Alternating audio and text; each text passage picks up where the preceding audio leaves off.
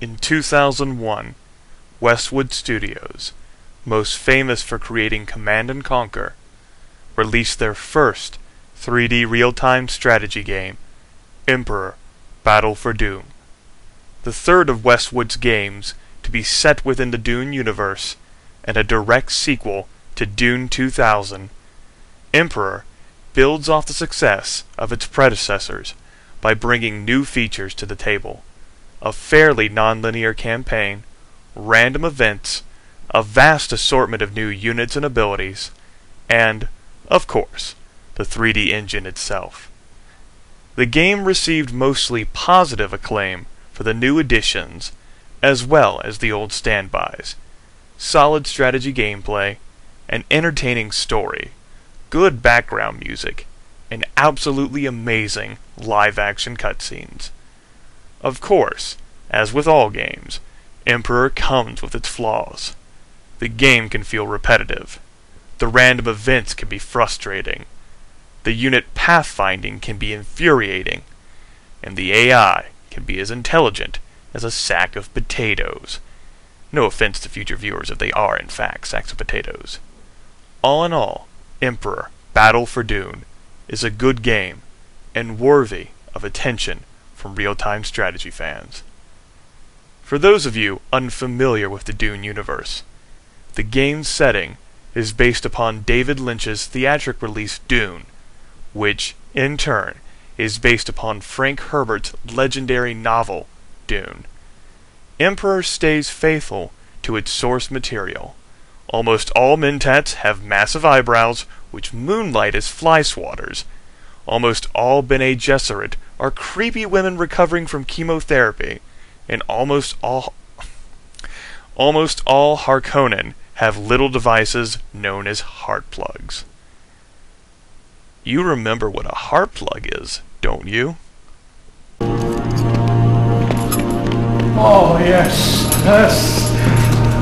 We had some memorable times together, but all good things must come to an end. Bring the replacement out of my spice planet and make sure that he understands that failure means pain. Ah, oh, endless pain. As you wish, my Lord Baron.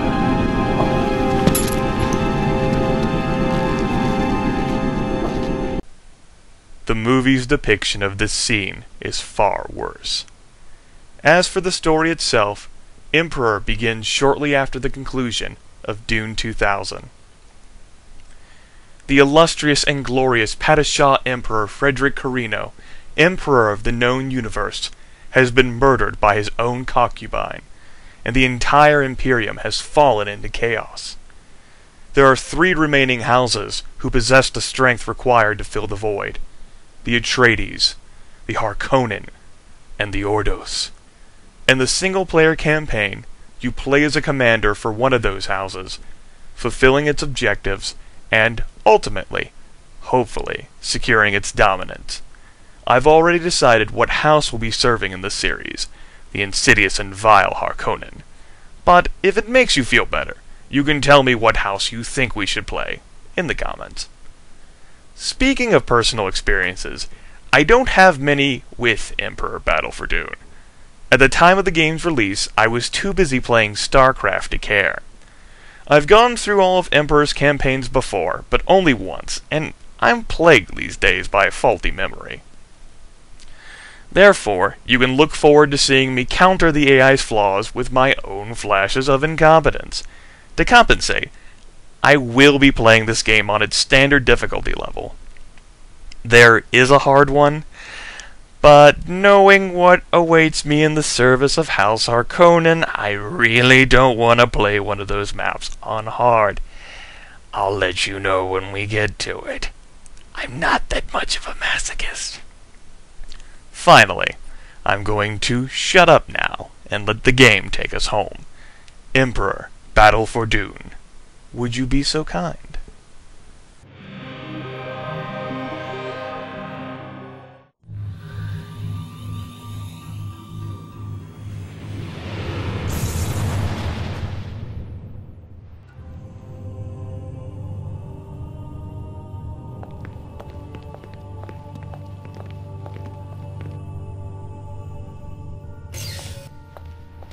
I saw this. All of it. You have the sight. Don't pretend ignorance. My Bene Gesserit sisters knew of my history, of my time among the Fremen. It's true. You drank the water of life. You survived the weirding ritual. How else could I do as my sisters commanded? Without the power of the blessed water, I could never have survived the scrutiny of the Emperor's seers. But you did. And Corrino is dead by your hand.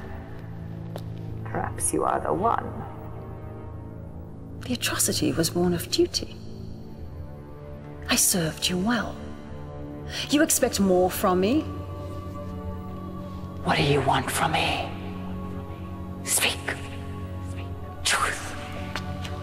You dare to use the voice! You dare to enter my mind unbidden! You are not what you seem, Reverend Mother. What horror are you planning? This interview is over. You will obey us, sister, or you will die. Die! I can only die once. There are deaths, and there are deaths! You will obey us.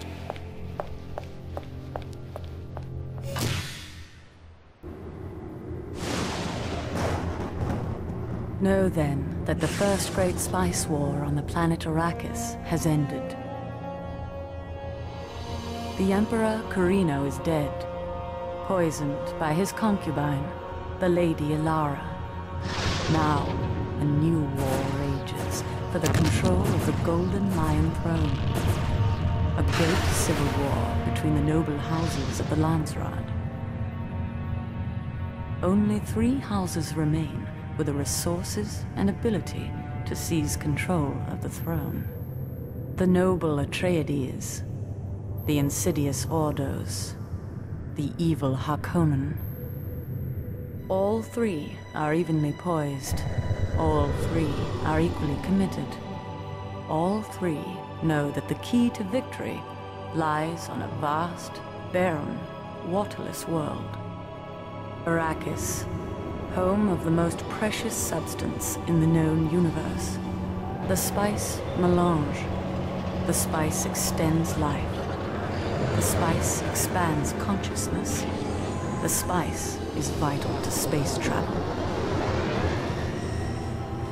A new war begins. Each the three great houses must attempt to gain the majority of occupied territories on the planet. Who controls Arrakis controls the spice.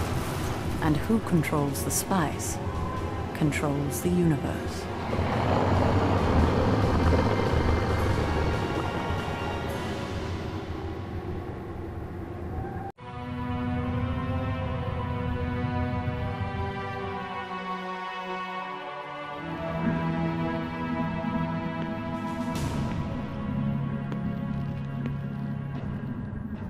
Reign of House Corrino is ended. Another house must take its place. I am Shafla. I represent the Spacing Guild's interest in this matter. Under the terms of the Great Convention, a limited form of warfare known as the War of Assassins has been declared by three factions. House Atreides, House Harkonnen, and House Ordos. The rules of conflict prescribe formal declarations of intent. Who would speak for House Atreides? I am the Duke Achillus of Arrakis. Of Arrakis. Oh my, that is too rich. I see the Atreides still harbor delusions of superiority. I was told I would be able to speak. Baron, you will have your time. Indeed, I will. House Atreides will abide by the terms of the Great Convention. Our intent is to secure the planet Arrakis and oversee the production of spice for the good of all. Baron Rakan, I had hoped to avoid this unfortunate conflict. My intent was to make a gesture of peace. Peace. We have oft-times seen the Harkonnen's treachery. While he talks of peace, he plans for war. Talk is irrelevant. Peace is not an option. Who is this creature? It speaks for the executrix of House Ordos. Is the executrix afraid to speak for themselves? Are they so cowardly? We are the executrix of House Ordos. We fear nothing. We will abide by the terms prescribed by this council. We will eliminate all competitors. In the end, we will prevail. All other considerations are trivial. Let it be war then! We will take Arrakis! We will control You the will space! control nothing. Enough! Know then that the War of Assassins has begun. The war will be limited to the planet Arrakis. Use of atomics is forbidden. So long as these rules are followed, the Guild will not interfere. But understand this. During this conflict, and following it, no matter what the outcome, the spice must flow. This council is ended.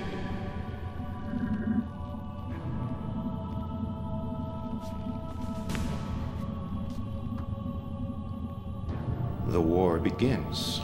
It has never ended. Arrakis lies at the hub of the universe. Once more, the wheel is poised to turn.